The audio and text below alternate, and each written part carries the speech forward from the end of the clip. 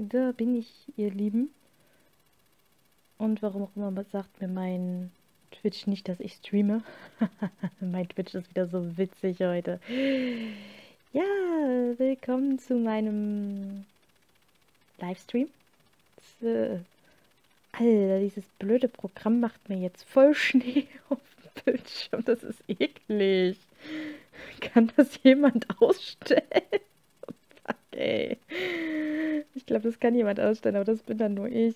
Kleinen Moment, ich weiß, ich habe heute irgendwas an Einstellungen gemacht, aber fragt mich nicht was. Es, äh, es, es schneit. Warum auch immer.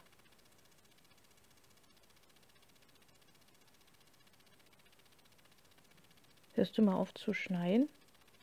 Ah, gut, ich habe keinen Schnee mehr auf dem Bildschirm, aber das macht sich ein bisschen blöd bei einem äh, Stream. Äh, bei einem Stream, äh, wo ich euch ja... Scheiße, ich habe einen Faden verloren. ja, bei einem Stream, wo ich euch eigentlich ein Otome-Game präsentieren wollte. Das wird jetzt auch eines meiner Projekte auf YouTube dann werden. Also ich habe ja jetzt festgestellt, wie man toll mit Handy, yay, streamen kann. Das einzige Problem ist, ihr werdet wohl nicht den Ton hören. Das heißt nicht die atemberaubend schöne Musik hören.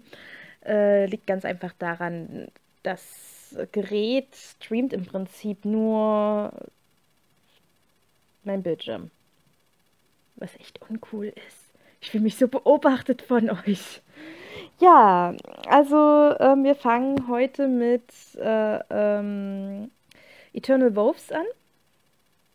Eternal, Eternal Wolves oder, oder auch wie, nenn, wie es im Deutschen im Manga so schön hieß. Äh, Schwur der Zeit. Jo, genau, der Schwur der Zeit war es.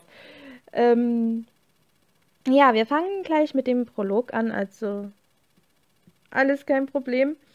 Äh, ich bin aktuell wieder mein einziger Zuschauer. Und schon wieder zeigt mir Ah, ich hasse Twitch dafür. Äh, Twitch zeigt mir nicht den richtigen Titel an. Es sagt jetzt Love Letter from Thief X, obwohl es Spur der Zeit ist. Oh Mann. Das ist so nervig. Ich hoffe mal, der hat Eternal Wolves in seiner Datenbank. Das ist ein bisschen blöd. Hm. Scheint nicht der Fall zu sein. Na dann. Let's Fets und so. Dann bleibt da jetzt eben Love Letter from Thief X stehen. Das ist so dämlich. Egal. Ähm. Ähm. Ja, ich bin noch nicht ganz fest, äh, sattelfest, was die Einstellungen hier angeht. Ich weiß, ich kann den kann den Chat hier einschalten. Ich kann den, glaube ich, auch richtig äh, fast durchsichtig machen, sodass ich wenigstens ein bisschen von euch mitkriege. Ähm, allerdings ist mir das zu blöd. Ich habe den Chat dafür äh, deswegen auch Twitch bei mir laufen, damit ich im Fall der Fälle doch noch mit euch reden kann, weil ja, ich, wie ihr gerade seht, ihr seht dieses blöde Bild von diesem Chat. Naja, gut. Ähm, ja, Eternal Wolves ist von ähm, Shore We Date. Also aus der Shore We Date-Reihe. Äh, jeder, Char also es ist äh, nicht eins dieser kostenlosen Spiele, es ist eins, wo man wirklich jeden Charakter kaufen darf. Wie ihr. Habe ich Akatsuki gekauft? Hm? Ich verwirre mich gerade selber. Ich habe doch. Nein, ich habe hier noch keinen wirklich groß gekauft. Gut, ich dachte schon, ich werde hier alt. Ähm, den einzigen, den ich aktuell gekauft habe, ist Kansuke Yamamoto. Äh, hat einen Background aufgrund ähm, des Mangas. Wie gesagt, ich habe den Manga dazu ja bei mir im Regal stehen, habe ich mir über eBay mal erworben. Und ich habe die Geschichte geliebt. Ist zwar so ein bisschen 0815, aber ich habe sie geliebt. Ja, und deswegen fangen wir doch einfach mal mit dem Prolog an, der übrigens kostenlos ist. Oh mein Gott, es ist in diesem Spiel was kostenlos. Macht er jetzt automatisch? Bitte sag mir nicht, dass du automatisch machst. Egal. Ähm, Lord Masatora. Äh, die Nokisaru äh, sind euch zu Diensten. Ich versuche übrigens wirklich alles diesmal auf Deutsch zu übersetzen und daher ich entschuldige, dass mein Englisch, mein Deutsch, allgemein alles so on the fly so crappy ist. Aber ich gebe mein Bestes, nur für euch. Gut.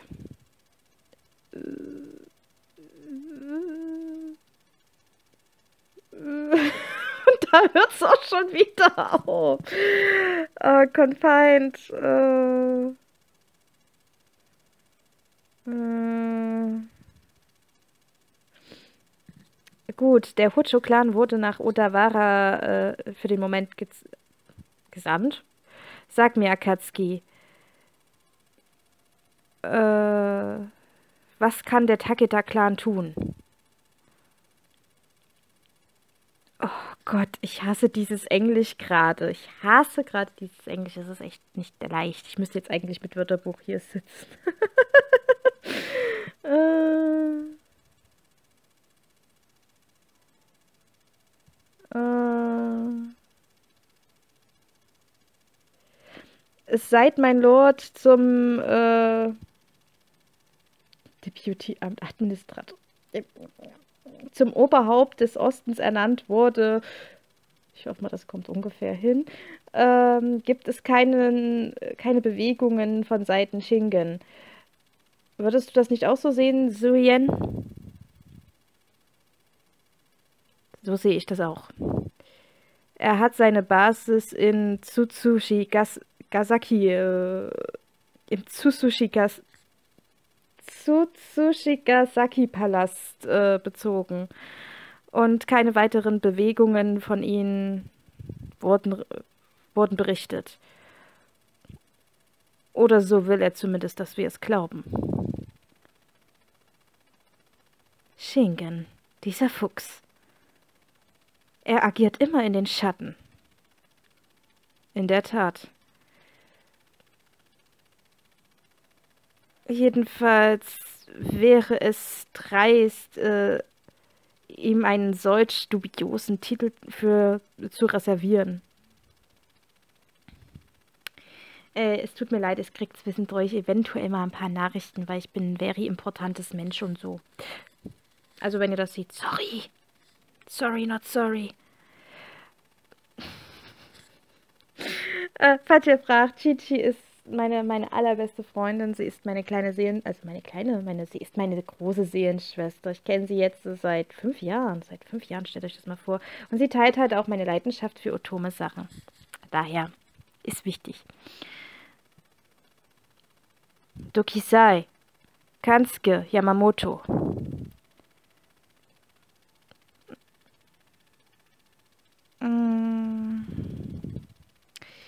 Merkwürdige Gerüchte von Kansuke Dukisai Yamamoto äh, machen die Runde. Yataro, hast du diesen Mann gesehen? Schmerzt mich das zu sagen, aber hab ich nicht. Hätten wir uns jemals auf dem Schlachtfeld gesehen, würde er sicher durch meine Hand sterben.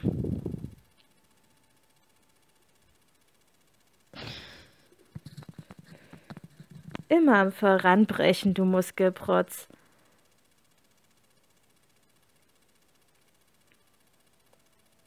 Ein, äh, der, die, der Stolz eines Kriegers liegt in seiner Klinge und seinem Bogen. Ha! Es gibt kein Schwert, äh, kein Speer, kein Schwert, der lang genug ist, um mich im Zaum zu halten. Ich nehme dich beim Wort. Abgesehen davon, äh, was plant Dokisai? Er versammelt Ninjas von unbekannter Herkunft. Sie sind weder Takedas äh, Spione, noch äh, gehören sie zum Komitee der Drei. Shuya hat mehr davon. Äh, was? Shuya hat mehr davon? More on this? Oder hat mehr Informationen darüber? Ach ja, hat mehr Informationen darüber. Sorry. Shuya Berichte. Wo ist Dokisai gerade? Kai Schloss Kaisu seit dem Frühling. Das Schloss in nahe Kawanakashima, huh? Eine andere von Shingens unkonventionellen Fälschungen? Und was ist im Osten, Masato? Herr. Gouverneur Arakawa von Isu hat äh, seine Pflicht im Mayabashi-Schloss ohne Fehler ausgeführt. Gut. Und ich will, dass Arakawa seinen Kurs weiterhin so fortsetzt. Es sollte bisher noch unbekannt äh, sein, dass ich den Osten verlassen habe und in meine Provinz zurückgekehrt bin. Jetzt ist der Augenblick zu handeln. Äh, kommt nicht ins, Blick, ins Visier von dem Fuchs Schinken oder von Dokisai. In der Tat. Wer ist da?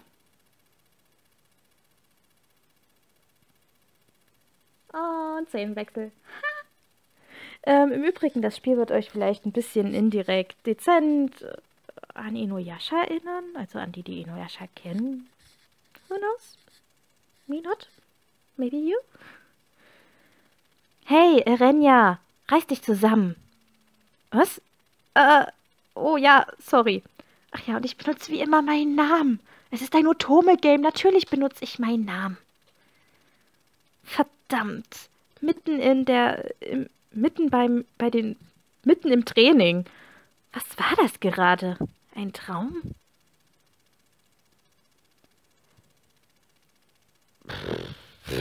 Ein Archery. Ich weiß zwar, das ist irgendwas, ein, ein Schießplatz. Ich glaube, nehmen wir mal einen Schießplatz.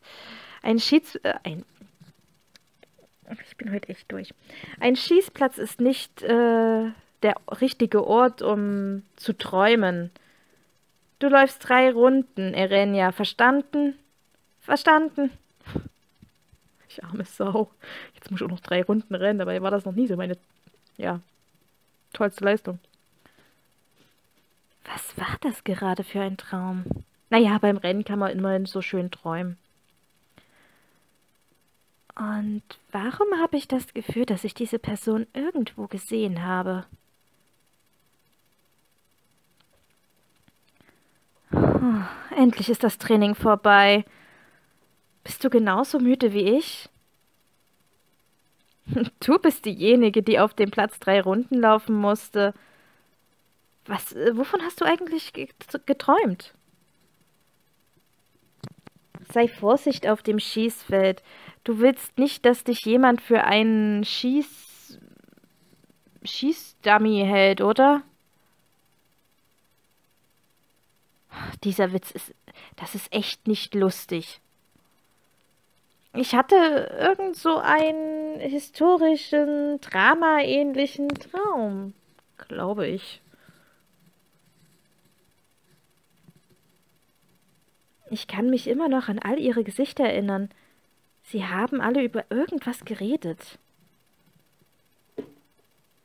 Ein Traum mitten am Nachmittag?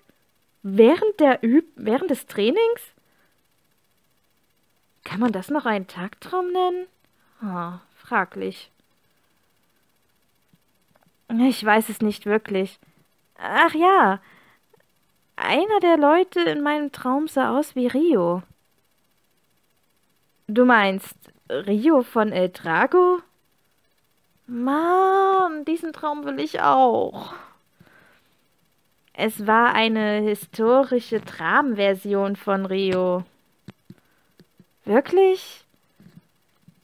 Vielleicht äh, solltest du deiner großen Schwester für, diese seltsamen, für diesen seltsamen Traum danken.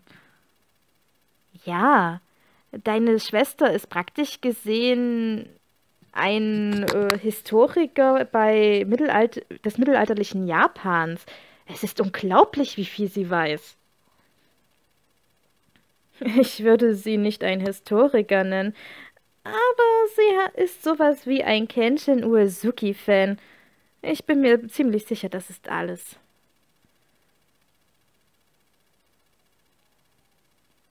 Nun, das ist natürlich der passende Ort für einen Kenshin-Fan. Yep. Hier in Yoizu, in der Stadt Yoizu, äh, war, seine, war sein Hauptquartier. Kasugayama, das Schloss Kasugayama. Mein Großvater besucht immer den Kasuga-Schrein zum Neujahr. Meine auch. Wenn man vom Teufel spricht, meine Schwester ruft mich an. Einen Moment bitte. Ja? Bist du auf deinem Weg nach Hause? Ist das Training vorbei? Ja, es ist vorbei. Sag mal, Aya, ich habe vor kurzem einen seltsamen Traum gehabt. Einen seltsamen Traum? Es fühlte sich irgendwie wie ein historisches Drama an. Was? Was von Lord Kenshin? Und natürlich ist das das Erste, was dir in den Sinn kommt. Muss ich dich daran erinnern, dass die Kommandanten der Krieg, der Kriegs, äh, des Kriegsstaates, der Kriegsperiode, des Kriegs irgendwas, äh, keine Idole waren? Wer interessiert sich schon für, diesen, für dieses Popkulturzeug? Mir geht es nur um Lord Kenshin. Oh Mann, ich wünschte, ich könnte zu der Zeit zurückkehren. Ja, ja, da bin ich mir sicher. Also, was, worum ging's in dem Traum?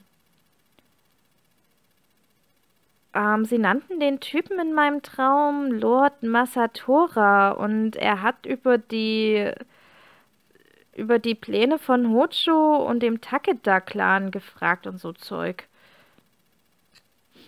Was? Dann war es wirklich von Lord Kenshin. Wusstest du nicht, dass Masatora sein Name war, bevor er sich Kenshin nannte? War das nicht Kagetora? Oh Gott. Jetzt wird's historisch, Leute. Jetzt wird's schwer historisch. Äh.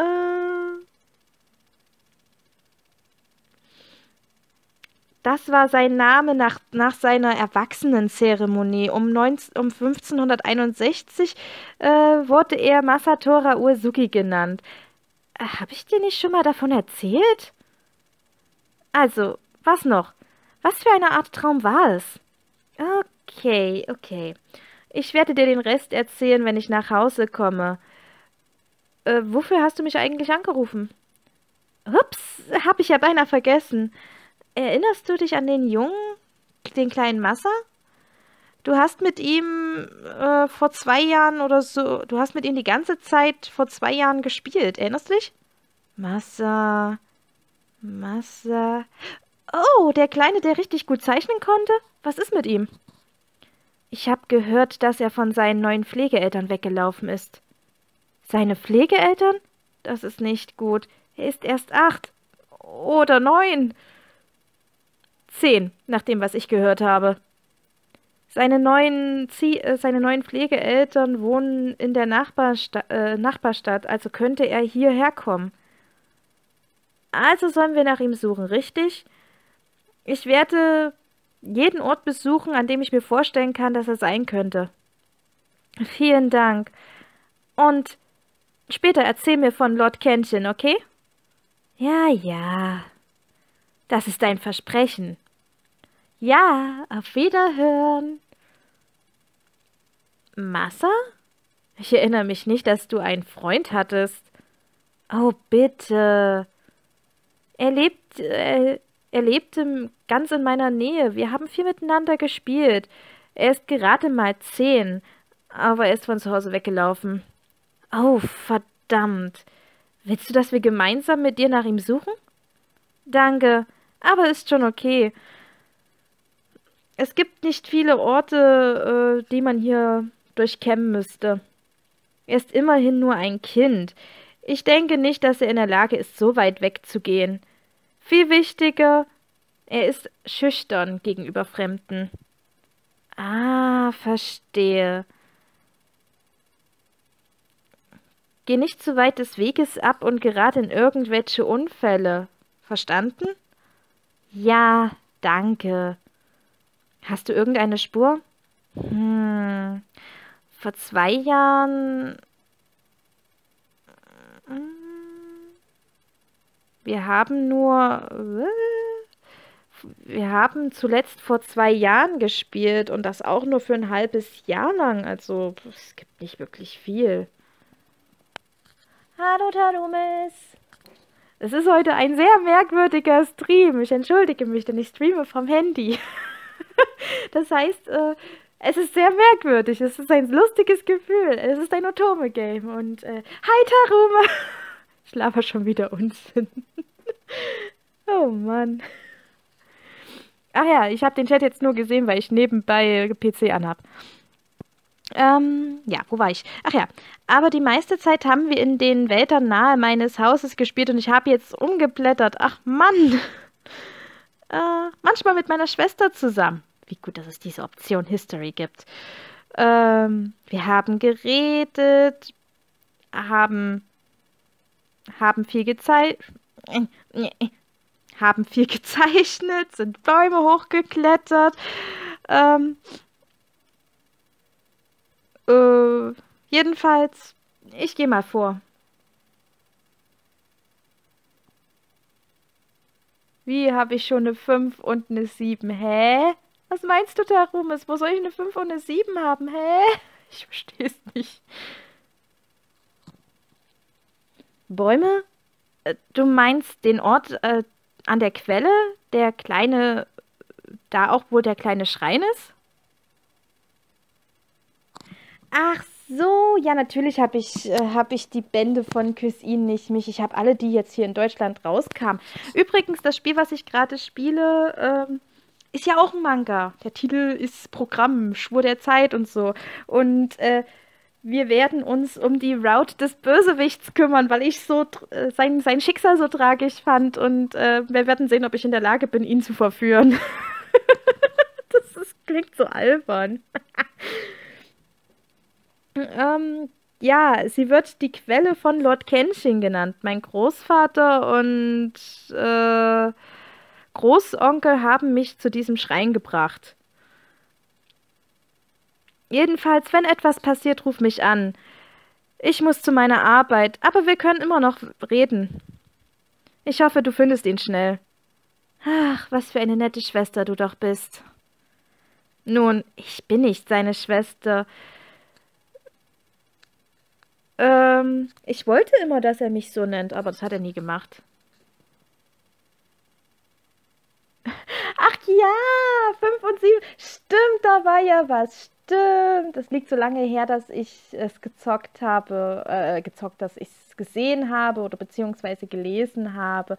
Richtig, ihre zwei Love Interests, also die, die auf sie stehen, die nennt sie ja 5 und 7. Hier der, der, ähm, der schwarzhaarige Typ und ich glaube der eine Blonde, die beide im Fußballteam sind. Irgend sowas war's doch. Äh,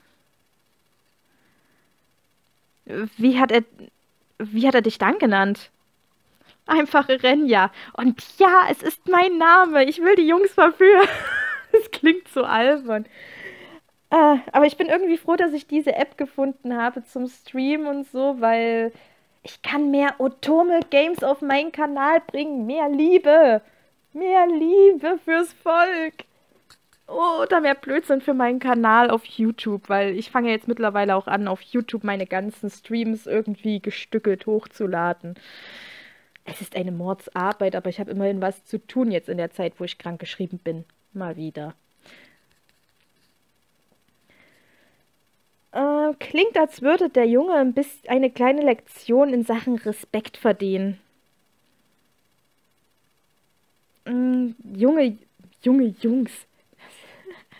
Junge Jungs, es ist leider so. Junge Jungs äh, wollen wahrscheinlich nicht äh, wie kleine Kinder behandelt werden. Das ist genau das gleiche wie mit meinem kleinen Bruder. Nun ja, wir sehen uns morgen. Ich gehe besser nach ihm suchen. Ich hoffe, dass ihm nichts passiert ist. Ich frage mich, ob er an Lord Kenshins Quelle ist. Mm. Es, mir kommt irgendwie kein anderer Ort in den Sinn, wo er sein könnte. Also habe ich mich entschieden, die Quelle als erstes zu wählen.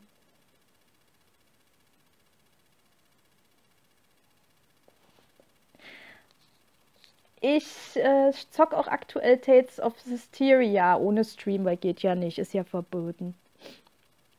Ich habe noch kein, kein äh, Capture-Device, sonst würde ich das wahrscheinlich auch noch live streamen. Oder zumindest auf meinen Kanal laden. Aber kein Capture-Device und teuer Geld, so 75, äh, 65, 75 Euro um die Dreh, wenn nicht sogar mehr. Kommt auf die Qualität an. Hab ich nicht, ist nicht. Muss ich abwarten. Deswegen, Otome, ganz viel Liebe. Ich frage mich, ob sich Massa überhaupt an mich erinnert. Leute, die das Buch kennen. Pervers lachen einmal bitte. Ähm. Okay, es ist wieder so ein beschissenes Englisch, was ich nicht lesen kann. Es wird einen kurzen Moment dauern. Äh, der, der Nachmittag oder die Dämmerung legt sich über den Wald und äh, verteilt sein Licht nur noch spärlich. Ich finde, das klingt gut, auch wenn ich keine Ahnung habe, ob es richtig ist. Oh, ich denke, das war irgendwie. Ja, irgendwas, was zu lang war. Es gibt eine Menge, was bei Otome Games zu lang sein könnte. Und das war halt ein langer Schuss. Keine Ahnung. Ich habe keinen Plan. Übersetzt es euch selber. Scheiße. Ich bin heute so am Ablusen. Es tut mir leid. Es tut mir so leid, dass ihr heute mit so einem unqualitativen Stream leben müsst. Nein, eigentlich tut es mir nicht leid. Uh, ich denke, das war ein bisschen zu spontan, würde ich mal meinen. Hilf mir. Irgendjemand. Hilf mir. Huh? Ich bin mir ziemlich sicher, ich habe die Stimme eines Kindes gehört. Äh, kommt es von der Nähe der Quelle? Hilf mir. Bitte. Es ist eine Jungsstimme, aber sie klingt nicht wie Massas. Hilfe. Was denke ich da? Ich kann ihn nicht hier alleine lassen. Ein Augenblick. Ich bin gleich bei dir. Ich bin hier, um zu helfen. Oh.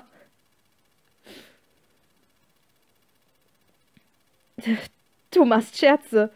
Diese Quelle ist nicht so tief, dass man darin versinken kann. Wie kann es sein, dass ich atme? Ich bin unter Wasser, oder? Hilf mir. Ist er es? Hilf mir ihn zu retten, bitte. W was meinst du? Rette ihn bitte. Rette sein Leben. Sein Leben? Wer ist er überhaupt? Er. Er? Aber ist das nicht Lord Masatora? Äh, Weißt du nicht, dass Masatora sein Name war, bevor man ihn Kenshin nannte? Was? Kenshin Uesuki? Sein Leben ist in Gefahr. Ich erbitte dir, ich erbitte, dass du ihn rettest. Nur ihr seid in der Lage dazu. Erst du und dann ihr. Scheiße, wenn man es im Englischen nicht so schnell sieht, dass es jetzt etwas mittelalterlich wird. Ah, ist ja nicht so, als hätten wir davon gesprochen, dass es das mittelalterliche Japan ist. Who cares? Was soll das bedeuten? Wer bist du? Fürchte dich nicht. Ihr seid in der Lage. Hey, warte! Hey, Zoe, hast du das gehört? Unterschätze niemals einen ehemaligen Ninja. Ich könnte selbst Flüstern aus dieser Entfernung hören. Meine Beine mögen mich zwar betrügen, aber meine Ohren tun es nicht. Genug von deinen Beinen. Ich nehme an, dass du nicht alarmiert bist. Was ist mit dir, Schuh? Nichts.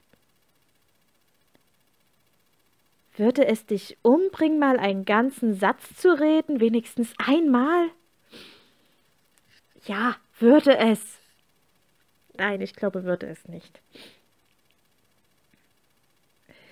Mein Lord behält immer, ähm, behält immer seine Bodyguards von der, hält immer seine Bodyguards von der Quelle fern. Nicht einmal wir, die Nokisadu, äh, sind in diesem Wald erlaubt.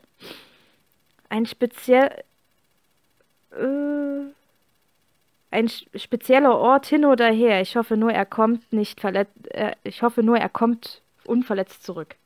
Ey, mein Englisch ist heute echt wieder für die Tonne. Äh, ich kann nicht aufhören, daran zu denken, wie ein Außenseiter uns bei der letzten, bei dem letzten Kriegsrat äh, beobachtet hat. Ich stehe da so überhaupt nicht drauf. Mittelalterlich und wir fangen jetzt mal mit äh, totaler moderner Sprache an. Klar.